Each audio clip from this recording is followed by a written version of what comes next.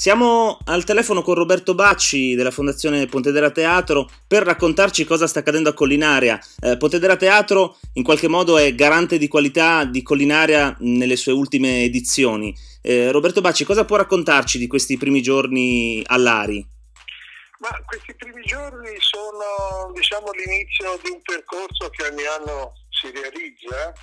e che questa settimana straordinaria in questo straordinario luogo che è Lari e i suoi dintorni. Abbiamo cominciato con Capossera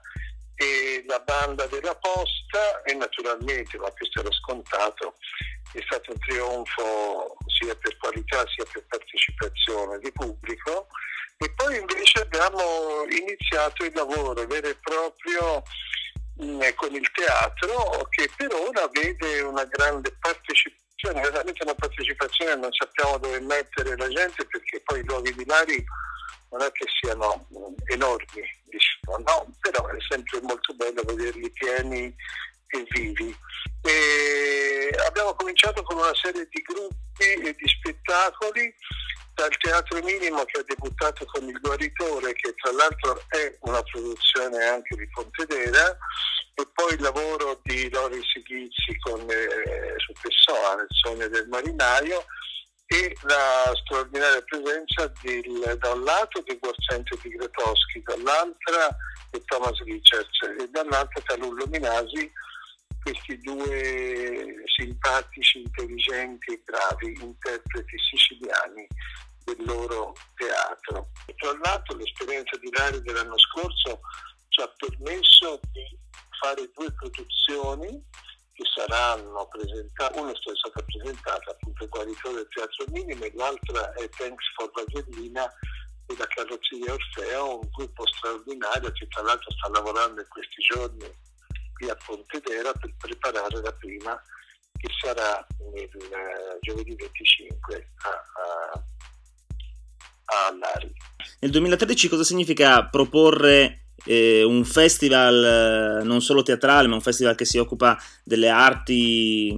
dalla musica al teatro, alle contaminazioni poetiche? Cosa possiamo trovare come comparazioni e differenze tra l'organizzazione, la proposta di un festival estivo di una durata di 10 giorni e una proposta permanente, annuale, come per esempio Ponte della Teatro fa da molto tempo? La, eh, L'Ari è un luogo di concentrazione e quindi di moltiplicazione, nel senso che le compagnie non è che vengono e fanno lo spettacolo come accade di solito in una stagione,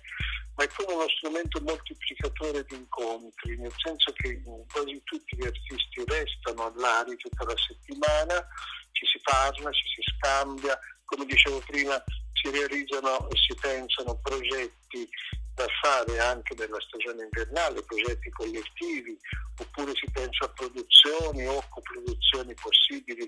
cosa che del resto è nel nostro DNA come Pontedera, perché siamo anche diciamo, molto attenti a, alle giovani esperienze, ai giovani gruppi che ospitiamo nel nostro teatro anche per lunghi periodi. E quindi è come eh, l'ARI per noi è uno strumento, uno strumento moltiplicatore in cui impariamo, in cui eh, ci mettiamo anche a disposizione per, eh, diciamo per il futuro, per il futuro prossimo ma anche per il futuro a lunga, a lunga scadenza. Questa per me è una differenza è una differenza importante perché mentre con Fabbrica Europa in cui lavoro e dirigo l'aspetto teatrale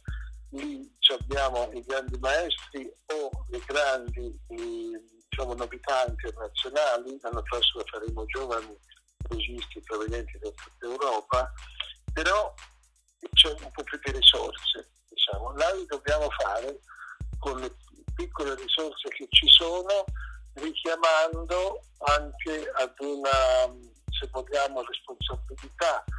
di crearsi un festival. Un festival è un festival che si crea, che si crea volta per volta